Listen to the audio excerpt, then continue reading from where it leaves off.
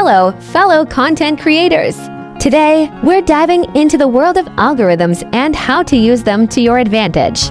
Specifically, we'll be talking about how to get that much needed attention for your content. First off, let's get on the digital bandwagon and create a profile on various social media platforms like Instagram, Twitter, and YouTube. Don't just post once and forget about it. Instead, consistency is key. Post regularly and engage with your audience. Next, we can talk about hashtags. Yes, hashtags are your friends. Use relevant hashtags to reach out to a wider audience.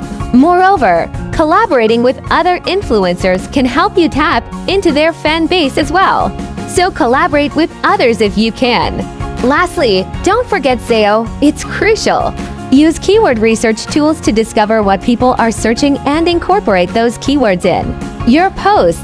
This will help your content appear higher in search results. Remember, it takes time to build an audience, so be patient and persistent. Thanks for tuning in today. If you found this video helpful, don't forget to like, share, and subscribe for more tips on content creation. Until next time.